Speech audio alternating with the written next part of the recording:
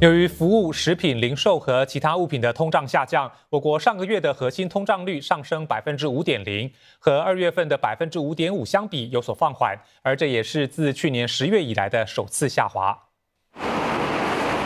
金融管理局和贸工部发表文告表示，私人交通通胀放缓，加上核心通胀率滑落，促使我国三月份的整体通胀率年比下滑到百分之五点五，比二月份的百分之六点三来得低。其中，电费和煤气的通胀率年比上涨百分之十二点二，而包括食物价格在内的其他领域通胀情况则都有所改善。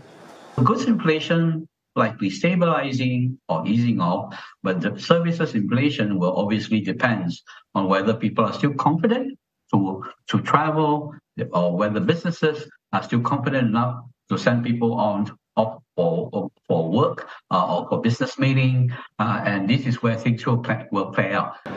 当局预计核心通胀率未来几个月将维持在高位，不过会适度放缓。而随着进口物价进一步下滑，以及国内劳动市场紧缩情况改善，核心通胀率预计会在下半年进一步放慢。